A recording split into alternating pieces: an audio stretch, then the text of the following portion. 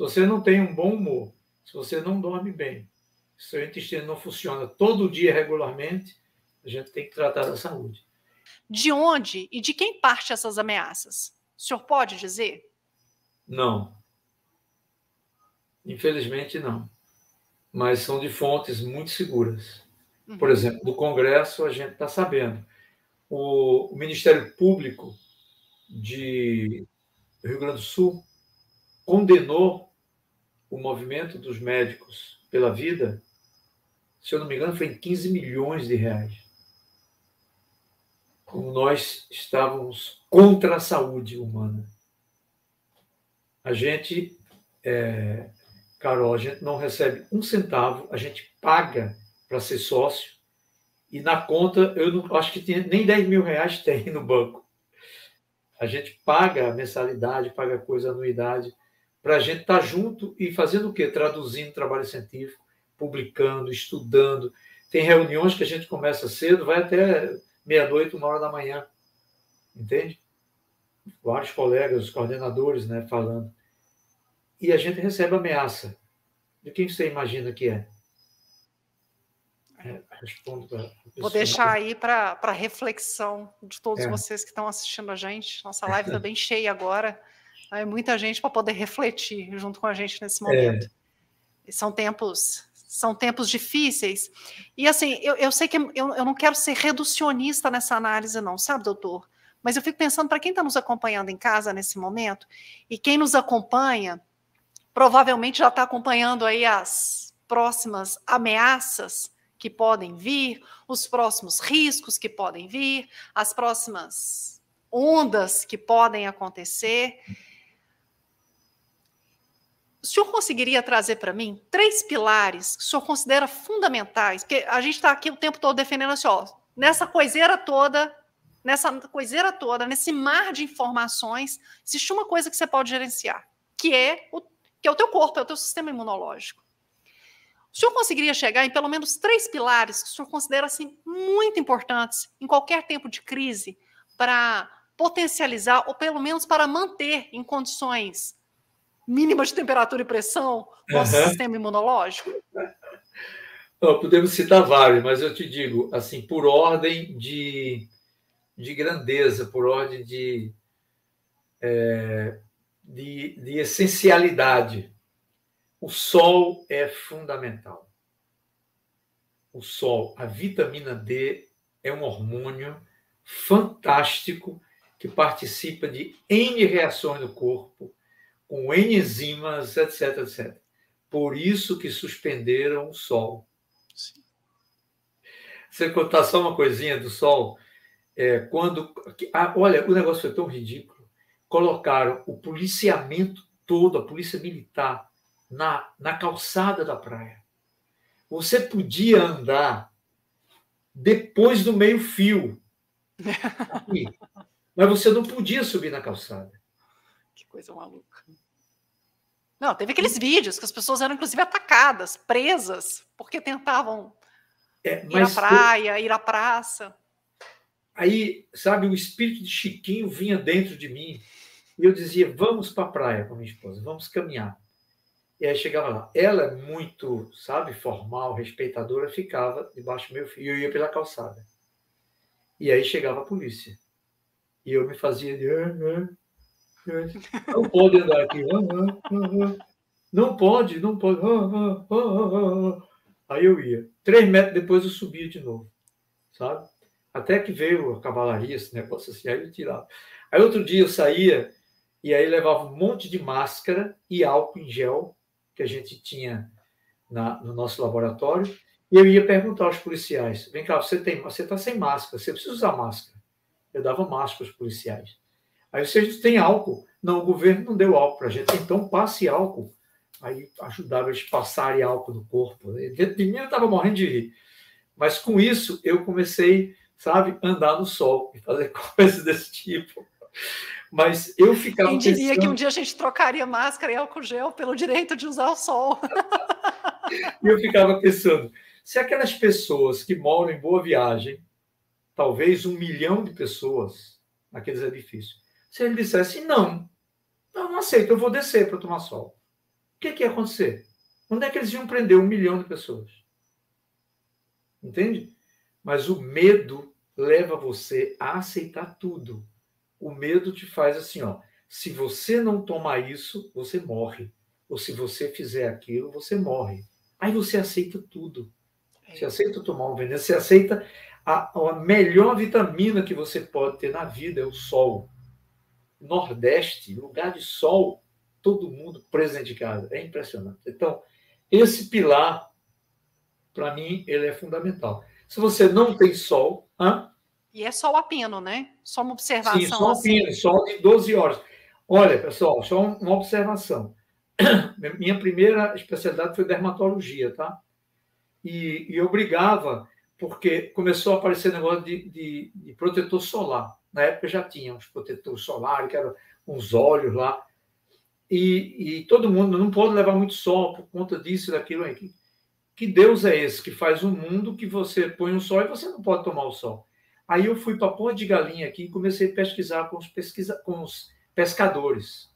Na época da, de 2020 para 2022 é, não sei se você conhece o Recife, mas aqui, Porto de Galinha, tem muitos pescadores que ficam pegando turista, andando no mato, tudo pretinho, sem chapéu, sem nada, sem protetor solar. Diz quantos casos da doença eu peguei ali em Porto de Galinha, entre os pescadores. Nem. Hum. Nenhum para remédio. Mas, rapaz, você não tem. Não, não tem isso, não, doutor. Que besteira. Rapaz, todos. Sabe que a hora que eles tomam sol? O dia hum, todo. Exatamente. Sabe qual é o grande problema de protetor solar, pessoal? Eu mandei para um pesquisador da Inglaterra que postou os grandes problemas do, de, de, você tomar banho de sol. Eu digo, não é. O banho de sol não tem problema. O problema são os protetores solares, que utilizam derivado de petróleo, que utilizam óleo mineral, parabeno, metilparabeno, propilparabeno, metilparabeno, e um monte de coisa. São eles que causam o câncer, não é o sol. Vai tomar sol a pino. Legal. Primeiro ponto, então. É, primeiro ponto. É, se você não pode tomar sol, toma vitamina D3, que chama vitamina D3, junto com a K2, e você supre aí. E não toma feito é, paciente chega para mim, eu estou tomando mil por dia. Não, eu tomo 10 mil por dia. Minha última vitamina D deu 126. Uau, estou intoxicado, vou morrer, nada disso. Eu controlo através de um, de um, hormônio, que é outra coisa lá. Tá? Então, esse seria um, um, um primeiro ponto. assim. Segundo... Me permita fazer um parêntese, porque eu trabalho também com suplementação e a, o normativo brasileiro fala que a gente pode tomar no máximo duas mil IS sem ser por prescrição, sem ser por farmácia de manipulação. Vocês vejam aí, gente, que a galera não está de brincadeira.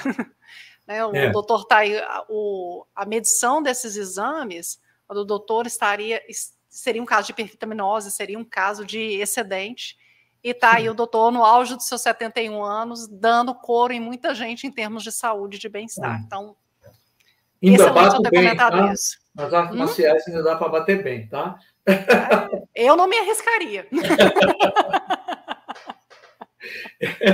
então, a vitamina D é fundamental, tá? E eu digo a você, minha, é, eu uso em pacientes que estão um pouquinho baixo, eu já uso nos 10 primeiros dias 30 mil a 50 mil por dia de vitamina D. Para equilibrar equilibrar. Quando chega no, nos valores adequados, então a gente mantém aí 10 mil por dia. Tá certo? Uhum. É, um segundo ponto, sabe, Carol, que é fundamental. Sendo é, o bichinho, ou não, ou ondas, ou, ou o que seja, ela te pega porque o teu sistema imune deu bobeira. Uhum. Deu bobeira. Existem várias coisas que levam à, à diminuição das defesas. Uma delas, e das mais importantes, chama-se estresse. Olha lá, o medo. Nesse momento eu até tomo uma água. É. Porque estresse é o mal da humanidade, né? É. E aí a gente percebe por que a estratégia do medo é tão importante. Claro. O mundo já é estressante por si só. Ainda entra um negócio desse é para deixar todo mundo de cabelo em pé, né, doutor? A pessoa perguntou outro dia, doutor, por que o senhor está sempre rindo, mesmo numa situação difícil? Digo, ah, quando eu estou qualquer perturbação, eu vou falar com o Chiquinho, caio na risada com ele lá. eu e ele morrendo de rir, é, desenhando o script lá. É, eu sempre digo que o sono, a, o intestino e o humor são três fatores importantíssimos para analisar a saúde de uma pessoa. Se você não tem um bom humor, se você não dorme bem, se seu intestino não funciona todo dia regularmente, a gente tem que tratar da saúde. Então, Carol, uma das coisas fundamentais, a segunda que eu diria, é que nós consumimos, é, desde o estresse até a poluição ambiental, etc., etc., e os alimentos, coisas inflamatórias. Então, quanto mais inflamado está o organismo, mais susceptível está a bichinho, a bactérias, a fungos, a ondas, a qualquer coisa. Então, é, cuidar dessa parte do sol, cuidar da parte da alimentação, é, seria assim fundamental. A uhum. suplementação, que muitos valorizam demais, eu, eu coloco, inclusive, no meu curso, Saúde Sem Censura, é, suplementação quando necessário. Sim. Tá? Quando necessário. Mas o terceiro ponto que eu foco bastante é em probióticos. E quando eu falo probióticos, é pró, pré, sim e pós. Probióticos, pré-bióticos, simbióticos e pós-bióticos. Entendeu? Porque... Consegue fazer um rápido resumo deles para gente? Tá. Probiótico, pró-vida. Você já tem, quando você nasce até os dois anos de idade, você tem em média 200, desculpa, 2 mil espécies em você. Quando você está a 30 anos de idade, você tem mais ou menos 400. Você perdeu, desculpa, desculpa, 40. Nossa! 40. Você perdeu é, mil e tantos. Por isso que a gente trabalha com probiótico para recompor essa microbiota intestinal. Então, probióticos, eu coloco em primeiro lugar o kefir, eu sou suspeito de falar o porquê. né? Bom, então, probióticos. Pré-bióticos são as fibras que alimentam os probióticos. Por quê? Se você come farinha refinada, né, arroz refinado, cuscuz refinado, açúcar refinado, tudo refinado, você não alimenta sua microbiota intestinal e, em consequência, você tem uma queda. 90% ou mais da tua imunidade tem relação com o intestino. Sim. E mais ainda com a tua microbiota. É o eixo intestino, microbiota, cérebro. Está totalmente ligado. Então, probiótico, pré-biótico são as fibras. Simbiótico é quando você consome os dois juntos. Por isso que uhum. eu gosto o que é fiel simbiótico. E o pós-biótico é quando você não tem é, os, os micro-organismos, tá? eles não estão vivos mais, eles podem ser passados no liquidificador, pode ser ir para o fogo e ele, ele perde a sua viabilidade, mas ele tem os metabólitos que ele produziu. Uhum. Esses são os pós-bióticos. Então, isso aqui é uma coisa que a gente está constantemente batendo. Porque preparou o intestino, você prepara seu organismo. Entendeu? É, é, é, é, muito doido assim escutar o senhor falando, me perdoa a expressão, porque a gente vai vendo toda a estratégia que vai sendo colocada, né? Então, assim, tirou o sol, aí assim, como você não pode ir, ir andar, ir a restaurante, a lugar nenhum, nunca se pediu tanta comida por telefone como nessa época a comida por telefone, o mais rápido é o fast food sempre, né? Então aí os refinados entram entram assim com tudo na casa das pessoas, né? E o estresse, ele, ele é quase um comentário por si só, né? É, quem é. liga a televisão vê jorrar desespero, né? Vê jorrar é. desespero. É. E falta de esperança, né? Boa parte é. das pessoas tiveram que ficar em casa sem contato com ninguém. No muito, no muito, no muito, conversando via WhatsApp com as pessoas. Então, é assim, é, é uma, uma, uma. Como é que chama aquele negócio de pegar passarinho? Caraputa. É, sabe? Uma arapuca. O Leonardo está aqui me falando, uma arapuca. Uma arapuca armada, muito bem armada, para que a gente é, caísse nesse, nesse belo é. conto é. da Agora, roupa nova do rei. É, três pernas numa mesa sempre deixa ela manca, sabe? Por isso que eu gosto de usar a quarta, que é exercício físico. Se você não se exercitar, você acumula toxinas, você vai a sarcopenia, né, a musculatura vai atrofiando, aí bagunça tudo, aí começa o problema com a glicose, aí insulina, e aí bagunçou. Então, para mim, essas quatro coisas são fundamentais você focar para ter o seu sistema imunológico mais fortalecido. Né? Em tempos de paz ou em tempos de guerra? É, todo tempo. Todo tempo.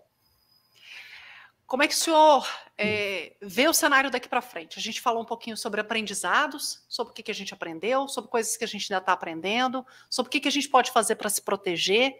Vamos falar um pouquinho sobre futuro, doutor. É, como é que o senhor vê, como é que o senhor vê o cenário diante dos nossos olhos aí pelos próximos dois, três anos? É, Ai, Carol. É para, é, é para nos preocuparmos, é para observarmos, é para ficarmos atentos? Carol, eu participei de uma assembleia lá em Minas Gerais. Ô, oh, terra boa. Terra boa, terra boa. É, me convidaram lá, acho que em Uberaba, participar de uma coisa de político. Não sou muito ligado com político, não, sabe? Mas me convidaram porque era a defesa de, dessas coisas todas. Me fizeram exatamente essa pergunta. Isso foi em 2021 eu falei, eu estou aqui defendendo o que eu vou defender, eu estou aqui lutando por tudo, mas para mim isso é uma luta em glória. Me desculpem, todos vocês que estão otimistas, eu falei para eles, mas para mim a tendência é piorar muito. A menos que haja um verdadeiro milagre no mundo, não é no Brasil. Uhum. Um verdadeiro milagre. Porque tudo está mostrando a verdade, Está tudo claro, tá, toda a história está claríssima, mas o povo está admirando a roupa do rei. Sim. Até que aparece um louco que fala: o rei está nu, né? Olha, eu gostei tanto que eu acho que eu vou até fazer depois um negócio no Instagram contando essa história de novo. Se vocês quiserem aí, coloquem aí nos comentários, porque essa história nunca fez tanto sentido. É, se, se, se eu contar uma historinha só para terminar, Deve. É, eu, eu, no passado, minha esposa e eu, a gente fazia macrobiótica. Aquela macrobiótica radical mesmo, sabe? Nossa. Aquela de, sabe, de arrozinho e... Era, era muito sério. E a gente viajava, tinha um grupo que a gente viajava muito. Era um grupo que não era macrobiótico, tinha nada a ver, era um grupo cristão. E a gente uhum. viajava de uma cidade para outra, para estudo bíblico, para essas coisas. E todo mundo sabia que eu não tomava café, que eu não tomava aquilo. Eu levava meu chá, era uma coisa. E aí eu levei uma garrafa de água quente, porque não deu tempo de fazer o chá. Esperando em algum lugar conseguir a Eva para fazer o chá. E alguém pegou essa garrafa de água quente no ônibus, a gente ia todo mundo no ônibus. E aí um provava, quem é esse chá? Doutor Djalma. De que é que você acha que é? Eu acho que é de hortelã. aí o outro tomava, acha que é de quê? Eu acho que é artemisia. E eu, eu e minha esposa, a gente, assim, fazendo, estava dormindo e rindo e várias pessoas provaram o chá. Aí chegou nas mãos de uma pessoa que, assim, não era uma pessoa é, muito desenvolvida intelectualmente, sabe? Um pouco bobinha, entendeu? Uhum, uhum. Aí, o que, é que você acha, fulano? Isso é água! Aí eu caí na risada, eu lembrei, o rei tá nu. Aí todo mundo ficou, é água, isso é água. Para você ver é como aí. a cabeça vai ficando, né? Você vai, é vai introspectando a coisa, vai integrando na sua vida, termina acreditando em tudo que passa ao seu redor, né? É. E para quem não está em busca da informação, fica à mercê dos olhos dos outros, né? Que olham para a roupa do rei e acham ela linda, mesmo ela não existindo. É. É, uma vez eu estava numa uma conversa aí com familiares próximos meus, eu falei assim, em épocas de em período de turbulência, no mar, cada um precisa guiar seu próprio barquinho. Uhum. É, e, e, ter muita clareza de para onde seu barquinho vai, porque não dá para acudir todo mundo, porque o todo mundo, cada um está indo para um lado. E, e, mas cuidar do seu barquinho com muito carinho, né? E aí o barquinho da gente, é, geralmente somos nós mesmos, né? E talvez as pessoas, o marido, ou a esposa, e os filhos e os netos, para até que o, o, mar fique um pouco mais calmo. Porque eu concordo com o senhor. São é. tempos. Eu acho que vivemos um, um pré-teste de coisas que ainda estão por vir.